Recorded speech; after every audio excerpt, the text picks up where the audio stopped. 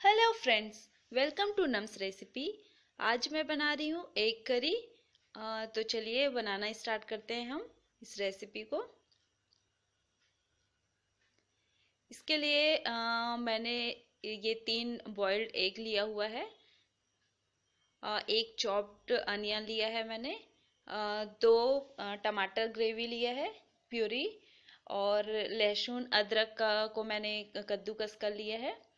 और इसमें मैंने ये तेज पत्ता लिया है दो कुछ खड़ा मसाला हम ले रहे हैं और एक छोटा टुकड़ा दालचीनी का और दो लौंग लिया है मैंने और ये चक्रफूल एक छोटा सा उसका टुकड़ा और जीरा।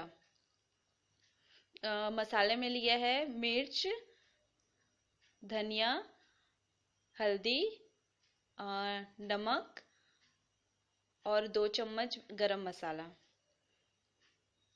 तो, तो सबसे पहले हम एक को इस तरह से हम इसमें कट करेंगे दोनों साइड से। इस तरह से ताकि ये अंदर तक अच्छे से पके और जब ग्रेवी में ग्रेवी में डाले इसको तो फिर अंदर तक ग्रेवी इसमें लगे। इसमें मैंने थोड़ा सा हल्दी और मिर्च मिला मिला लिया है मैंने। आप चाहे तो मिलाएँ नहीं तो फिर नहीं मिलाएँ।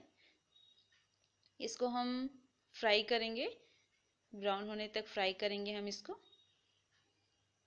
याद रखिए, इसको बहुत हाई फ्लेम में नहीं फ्राई करेंगे, नहीं तो फिर ये जलने लगेगा और अच्छे से फ्राई नहीं होगा। तो इसी तरह से सभी एक को हम फ्राई कर लेंगे। ये देखिए, मैंने इस तरह से फ्राई कर लिया है सभी एक को। अब इसमें उसी पैन में उसी तेल में बचा वाला तेल जो है उसमें मैं जीरा डालूँगी तेज पत्ता और जो खड़ा मसाला है उसको मैं डाल दूँगी।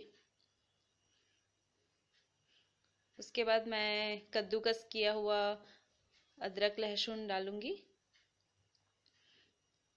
प्याज डालेंगे हम इसमें थोड़ा सा इसको फ्राई करेंगे एक मिनट के लिए और एक मिनट फ्राई करने के बाद हम इसमें आ, मसाले डालेंगे। ये देखिए मैं इसमें डालूँगी एक चम्मच धनिया पाउडर। वन फोर्थ डालूँगी हल्दी पाउडर।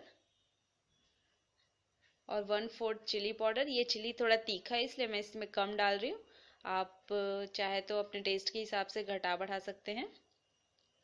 इसको अच्छे से हम आ, मिक्स कर लेंगे और एक मिनट तक इसको हम पकने देंगे। फिर इसमें डालेंगे हम टमाटर प्योरी, जो मैंने, टमाटर, दो टमाटर मैंने पीस लिया था। इसको अच्छे से हम मिक्स करेंगे और इसको इतने देर तक पकाएँगे कि ये तेल ना छोड़ने लगे। लगभग चार पाँच मिनट तक हम इसको पकाएँगे।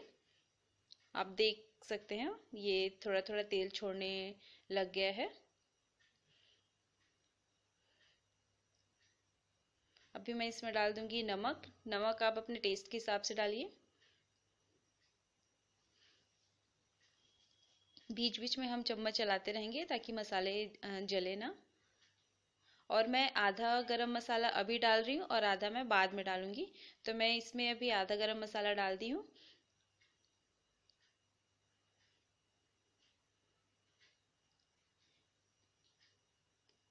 ढक कर के मसाले पकाने से उसका टेस्ट काफ़ी अच्छा रहता है।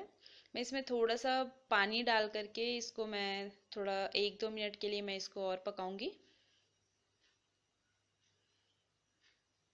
ये देखिए इस तरह से मसाले ताकि और अच्छे से पक जाए।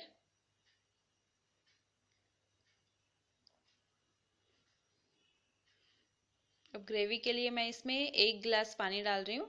आप अपने हिसाब से इसमें पानी घटा बढ़ा सकते हैं।